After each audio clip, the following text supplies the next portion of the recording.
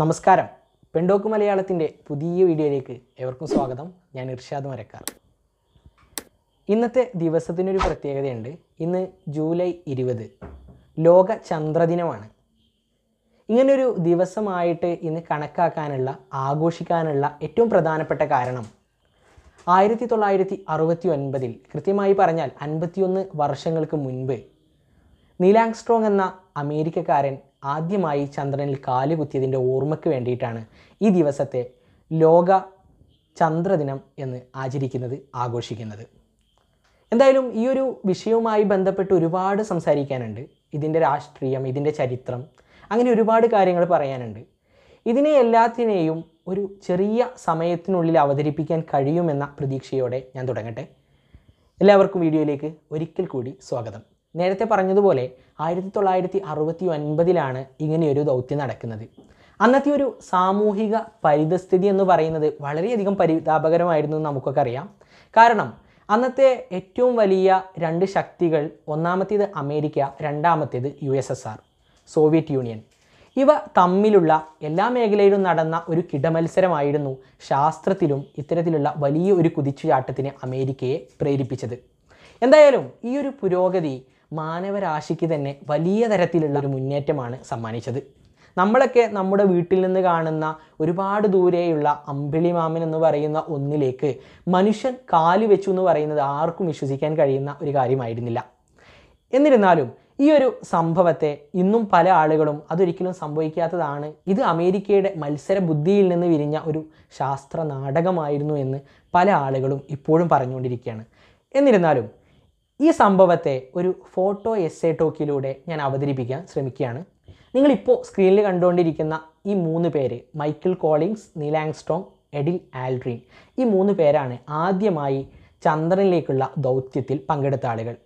ഈ മൂന്ന് പേരിൽ ഇടതുവശത്തിരിക്കുന്ന ആളാണ് നീലാങ്സ്ട്രോങ് അദ്ദേഹമാണ് ആദ്യമായി ചന്ദ്രനിൽ കാലുകുത്തിയ ആൾ ഇത് മെയ് ആയിരത്തി തൊള്ളായിരത്തി അറുപത്തി ഒൻപത് മെയ് ഒന്നാം തീയതി എടുത്ത ഫോട്ടോയായിരുന്നു. നിങ്ങളിപ്പോൾ കണ്ടുകൊണ്ടിരിക്കുന്നത് ഫ്ലോറിഡയിലെ കെന്നഡി സ്പേസ് സെന്ററിൽ നിന്ന് ഉയരുന്ന അപ്പോളോ പതിനൊന്നിന്റെ ചിത്രമാണ്.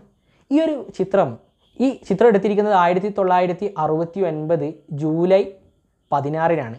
ആ ദിവസമായിരുന്നു ചന്ദ്രനിലേക്കുള്ള ഈ ദൗത്യത്തിന് തുടക്കം കുറിക്കുന്നത്. വിക്ഷേപണം നടന്ന് പതിനൊന്ന് മിനിറ്റ് കഴിഞ്ഞപ്പോൾ ആദ്യ ഭൗമ ഭ്രമണപഥത്തിൽ അപ്പോളോ എത്തി. ഒന്നര മണിക്കൂറിന് ശേഷം സാറ്റോൺ റോക്കറ്റ് അപ്പോളോയെ ചന്ദ്രന്റെ ദിശയിലേക്ക് തൊടുത്തുവിട്ടു. ഭൂമിയിൽ നിന്ന് ഒരു ലക്ഷത്തി അൻപത്തി ആറായിരത്തി എണ്ണൂറ് കിലോമീറ്റർ അകലെ വെച്ച് അപ്പോളോ യാത്രികർ ജൂലൈ പതിനാറിന് പകർത്തിയ ഭൂമിയുടെ ചിത്രമാണിത്. നാല് ദിവസത്തെ യാത്രയ്ക്ക് ശേഷം കൃത്യമായി പറയുകയാണെങ്കിൽ ആയിരത്തി തൊള്ളായിരത്തി അറുപത്തി ഒൻപത് ജൂലൈ ഇരുപതിന് അപ്പോളോ പതിനൊന്നിലെ യാത്രികർ ചന്ദ്രനിലെത്തി. ചന്ദ്ര ചക്രവാളത്തിൽ ഭൂമി ഉദിച്ചു വരുന്ന ഈ ദൃശ്യം അപ്പോളോയുടെ കമാൻഡ് മൊഡ്യൂളിൽ നിന്ന് പകർത്തിയതാണ്. അപ്പോളോ ദൗത്യം ഭൂമിയിൽ എത്തിച്ചതിൽ ഏറ്റവും കമനീയമായ ദൃശ്യങ്ങളിൽ ഒന്നാണിത് യഥാർത്ഥത്തിൽ ഈ ചിത്രം ആരാണ് പകർത്തിയതെന്ന് യാത്രികർ തന്നെ ഓർക്കുന്നില്ല എന്നുള്ളതാണ് യാഥാർത്ഥ്യം. നമ്മളിപ്പോൾ കണ്ടുകൊണ്ടിരിക്കുന്ന ചിത്രം ചാന്ദ്രപ്രതലത്തിൽ അപ്പോളോ യാത്രികർ ഇറങ്ങിയ തെക്കൻ പ്രശാന്തി സമുദ്രത്തിന്റെ ചിത്രമാണ്. ചാന്ദ്രപ്രതലത്തിൽ ഇറങ്ങുന്നതിന് മുൻപ് ലൂണാർ മൊഡ്യൂളിൽ നിന്നെടുത്ത ഈ ചിത്രം ആരാണ് എടുത്തതെന്ന് യാത്രികർക്ക് തന്നെ അറിയില്ല. ഈ ചിത്രം നിലാങ്സ്ട്രോങ്ങിനെയും എഡിൽ ആൽഡ്രിനെയും വഹിച്ചുകൊണ്ട് ഈഗിൾ എന്നു പേരുള്ള ലൂണാർ മൊഡ്യൂൾ ജൂലൈ ഇരുപത് അമേരിക്കൻ ഈസ്റ്റേൺ സമയം പകൽ ഒന്ന് നാൽപ്പത്തി ഏഴിന് കമാൻഡ് മൊഡ്യൂളായ കൊളംബിയയിൽ നിന്ന് വേർപ്പെട്ടു. കൊളംബിയയിൽ മൊഡ്യൂളിൽ കൊളംബിയ മൊഡ്യൂളിൽ ഉണ്ടായിരുന്ന മൈക്കിൾ കോളിങ്സ് ആണ് ഈ ചിത്രം പകർത്തിയത്. ചന്ദ്ര ചക്രവാളവും നമുക്ക് ഈ ചിത്രത്തിൽ തന്നെ കാണാൻ കഴിയും.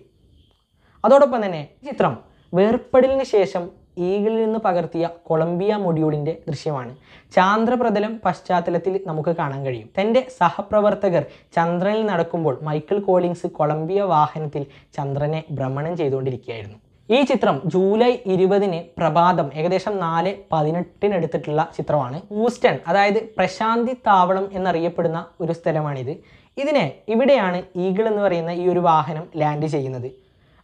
ഇത് ഭൂമിയിലേക്ക് ഇവിടെ ലാൻഡ് ചെയ്തു എന്നൊരു വാർത്ത കേൾക്കുമ്പോൾ അതൊരു പുതിയ യുഗത്തിന് തന്നെ തുടക്കം കുറിക്കുകയായിരുന്നു. ഇനി കാണുന്ന ചിത്രത്തിൽ നിലാങ് സ്ട്രോങ് ആദ്യമായി ചന്ദ്രനിൽ കാലുകുത്തുന്ന ചിത്രമാണിത്.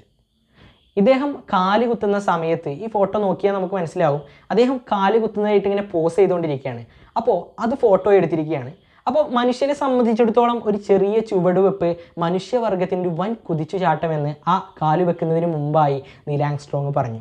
ജൂലൈ ഇരുപത് രാത്രി പത്ത് അൻപത്തി ആറിന് മറ്റൊരു ആകാശഗോളത്തിൽ കാലുകുത്തുന്ന ആദ്യ മനുഷ്യൻ എന്ന ബഹുമതി നീലാങ്സ്ട്രോങ് ഇതോടെ സ്വന്തമാക്കി.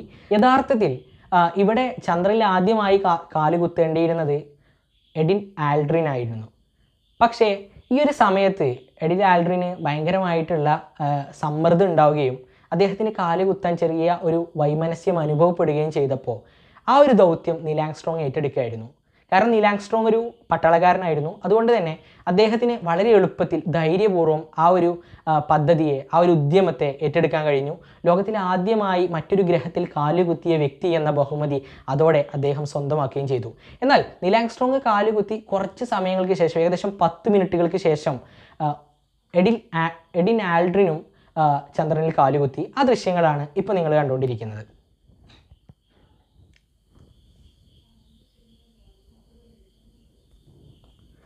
ഇപ്പോൾ കണ്ടുകൊണ്ടിരിക്കുന്ന ഈ കാണുന്ന പാദമുദ്ര അത് യാത്രയിൽപ്പെട്ട ഒരാളുടേതാണ്. ഈ ഇത് ഭൂമിയിലെ പല ഉറപ്പുള്ള സ്മാരകങ്ങളെക്കാളും ഉറപ്പുള്ളതാണ് ഈ അടയാളം എന്നാണ് പറയുന്നത്. ഉൽക്കാപതനം മൂലം നശിച്ചില്ലെങ്കിൽ ഒരു പക്ഷേ ലക്ഷക്കണക്കിന് വർഷക്കാലം ഈ പാദമുദ്ര ചാന്ദ്രപ്രതലത്തിൽ ഉണ്ടാവും എന്നാണ് പറയുന്നത്. ഏതാനും മണിക്കൂറുകൾ ഇരു യാത്രികരും ചാന്ദ്രപ്രതലത്തിൽ ചെലവിട്ടെങ്കിലും അവർക്ക് പരീക്ഷണങ്ങൾ കാര്യമായി നടത്താൻ കഴിഞ്ഞില്ല. എന്നാൽ ചെറിയൊരു ശാസ്ത്ര പരീക്ഷണം അവർക്ക് സാധ്യമായി. പാസീവ് സീസ്മിക് എക്സ്പെരിമെന്റ് പാക്കേജ് തയ്യാറാക്കുന്ന ആൽഡ്രിനാണ് ചിത്രത്തിൽ നമുക്ക് കാണാൻ കഴിയുന്നത്. പിന്നീട് ചന്ദ്രനിലെത്തിയ അപ്പോളോ ദൗത്യങ്ങളാണ് കൂടുതൽ പരീക്ഷണങ്ങൾ അവിടെ നടത്തിയത്.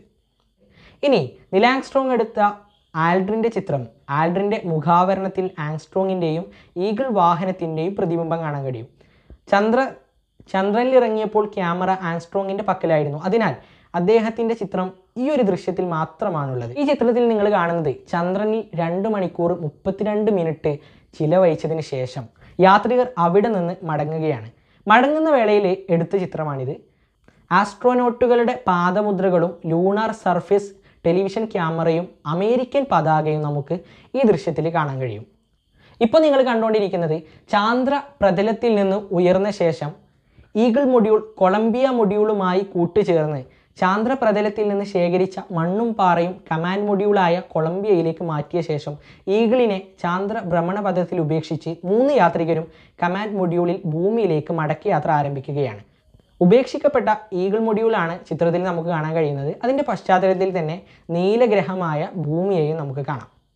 ഇവിടെ ഇവിടെയാണ് ഈ ചന്ദ്രദൗത്യം അവസാനിക്കുന്നത്. വളരെ വിജയകരമായി ഈ ചന്ദ്രദൗത്യം അവസാനിക്കുന്നതിന്റെ ചിത്രമാണ് നമ്മൾ അവസാനത്തെ ഈ ഫോട്ടോയിലൂടെ കാണുന്നത്. ഈ ഒരു ചിത്രത്തോടു കൂടി ചാന്ദ്രദൗത്യം എത്രത്തോളം വിജയകരമായി പൂർത്തിയാക്കി എന്ന് നമുക്ക് മനസ്സിലാക്കാൻ കഴിയും. കാരണം മനുഷ്യനെ ചന്ദ്രനിൽ എത്തിച്ച ശേഷം ഭൂമിയിൽ സുരക്ഷിതമായി തിരിച്ചെത്തിക്കുക എന്നുള്ളത് വലിയൊരു വെല്ലുവിളിയായിരുന്നു. ആയിരത്തി തൊള്ളായിരത്തി അറുപത്തി ഒൻപത് ജൂലൈ ഇരുപത്തിനാല് പ്രാദേശിക സമയം പകൽ പന്ത്രണ്ട് അൻപതിന് നാസ വിജയകരമായി അത് തരണം ചെയ്തു. ഹവായ്ക്കടുത്ത് എണ്ണൂറ്റി പന്ത്രണ്ട് നോട്ടിക്കൽ മൈൽ അകലെയുള്ള കടലിലാണ് കൊളംബിയ മൊഡ്യൂൾ ചെന്ന് പതിക്കുന്നത്. നാവികസേനയുടെ ലൈഫ് ബോട്ടിൽ അപ്പോളോ യാത്രികരെ കയറ്റുന്നതിന്റെ ദൃശ്യമാണ് ഇപ്പോൾ നിങ്ങൾ കണ്ടുകൊണ്ടിരിക്കുന്നത്. ഇങ്ങനെയാണ് ഈ ഒരു ഫോട്ടോകളിലൂടെ ഫോട്ടോ എസ് എ ടോക്കിലൂടെ ആണെന്ന് നടന്നത് എന്ന് വ്യക്തമായി മനസ്സിലാക്കാൻ സാധിച്ചിട്ടുണ്ടാവുമെന്ന് ഞാൻ വിശ്വസിക്കുകയാണ്. എന്തായാലും ഈ വീഡിയോ ഉപകാരപ്പെട്ടിട്ടുണ്ടെങ്കിൽ തീർച്ചയായും ചാനൽ സബ്സ്ക്രൈബ് ചെയ്യുക അടുത്തുള്ള ബെല്ലൈക്കൺ കൂടി അമർത്തുക. ഇനിയും ഉപകാരപ്പെടുന്ന വീഡിയോകളുമായിട്ട് തീർച്ചയായിട്ടും ഞങ്ങൾ വരും. എന്തായാലും വീഡിയോ കണ്ടതിന്